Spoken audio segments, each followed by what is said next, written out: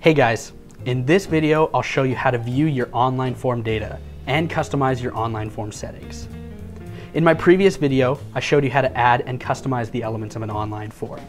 If you haven't seen it, I strongly recommend you check it out right here.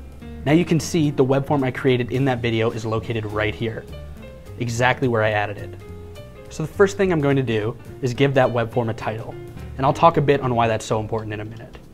So to give that a title, I'll go ahead and click on it, and over here in the panel box, I'll click on Edit Web Form.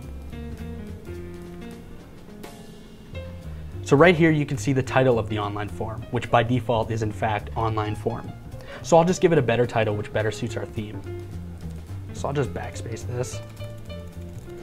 And I'll call it dessert form.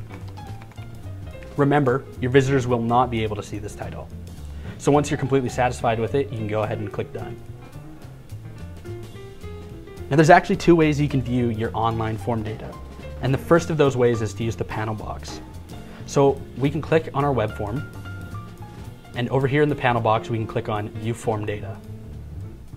All right, so here you can see a menu where we can see all of the people who have submitted into our online form. You can sort through these clicking on these headings up here. You can also remove a submission by selecting an entry you wish to remove and going down here and clicking on Remove Submission. There's also an option to download your web form data in either a CSV or PDF format.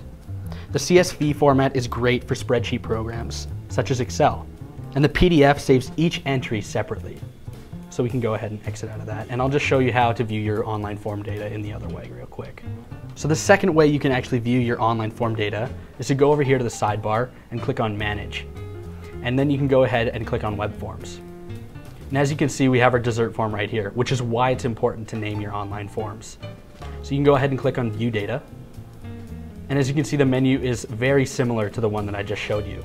It also gives you the option to print your form data.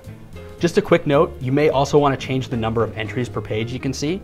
So since you can see that I have six entries, I would keep it in 10. But if you have more than 10, you can select a different number and that'll show the number of entries right here. So now I'll show you how to change the settings for your online form. So first up, I'll go back to the page containing my dessert form. So I'll click up here on web forms and back to editor, and you can see we're back to the page. To change the online form settings, you can click on the form, and then over here in the panel box, select form settings. You can see this menu pops up. This menu allows you to customize a few of the advanced settings for your web form. So for example, I can go over to security and you can see I can use a CAPTCHA to protect my web form. CAPTCHAs are quick tests that need to be filled out before the form can be submitted, so you can make sure your visitors are actually human beings. Now if we go over here to the confirmation tab, you can customize the message that is seen once the form is submitted. And the email message is the message that will be emailed to them if you so choose. So I'll just add a quick message for the page that says, thanks for visiting my awesome website. If you don't wish to personalize this message, the default message will be seen once the form is submitted. So moving on, we'll go to the Notifications tab. Here you can choose to be notified whenever your form is filled out. And you can also choose which email you would like these notifications to be sent to. So as you can see right here, I have admin at website.com. And over here, you can select if you would actually like to be sent an email every time somebody fills out your form. So right now, I just have it on no, please don't bother me. When you're satisfied with this, you can click on done. So now quickly, I'll just show you how to choose if you would like to send confirmation emails or not. So we'll just go back to the Edit Web Form menu.